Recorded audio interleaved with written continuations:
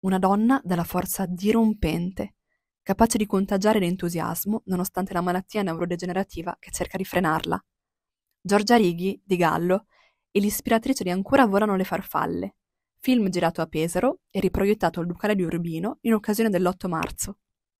Quando una cosa eh, affronta degli ostacoli, qualunque esso sia, se l'universo si allinea in tal modo che ti concede il lusso e la possibilità di poter comunque portare a termine quel sogno, vuol dire che in qualche modo l'universo ci credeva più di noi in questa storia. La storia racconta dell'incontro illuminante tra Giorgia, interpretata da Beatrice Mariani, e Italo, un giornalista ormai allo sbando. I sogni incontaminati della ragazza riaccendono la scintilla anche in lui.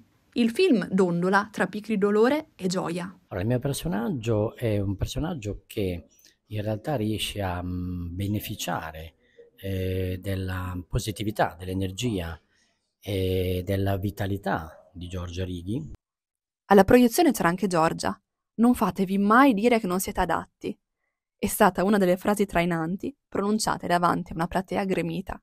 Ho avuto una bellissima occasione di star vicino a Giorgia quando era molto piccola. L'ho, l'ho avuta come insegnante sia in prima che in terza media. Ero alle mie prime esperienze, supplente, lei veramente mi, mi, incoraggiava, mi indirizzava verso tutto quello che dovevamo fare insieme. La forza la esprimeva già, già da allora.